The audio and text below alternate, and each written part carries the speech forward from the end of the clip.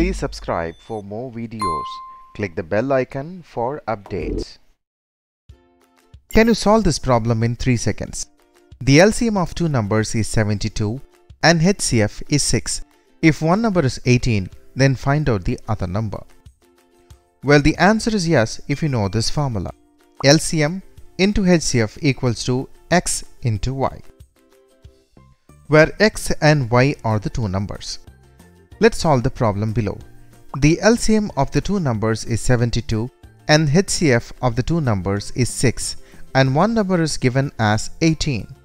We need to find out the second number.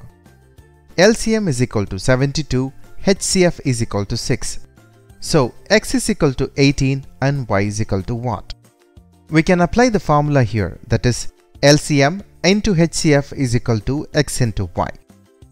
So 72 into 6 is equal to 18 into y. y equals to 72 into 6 by 18 and 8 times 4 72 so y equals to 4 into 6 that is 24. So the answer is 24. If you understand this trick, try solving the below problems and comment us the answers. 1.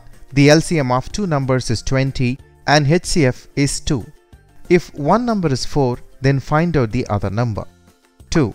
The LCM of two numbers is 100 and HCF is 5. If one number is 10, then find out the other number.